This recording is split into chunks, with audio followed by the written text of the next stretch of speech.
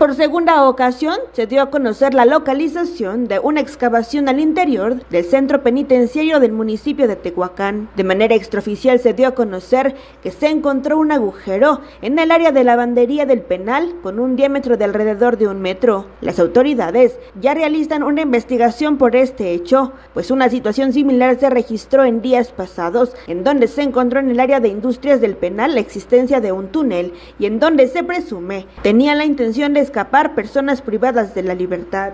Del primer túnel encontrado, se señaló que eran tres internos del penal los que fueron trasladados a San Miguel y dos al de Puebla, los cuales eran familiares. Sin embargo, las autoridades mencionaron que esta excavación no ponía en riesgo la seguridad del centro penitenciario.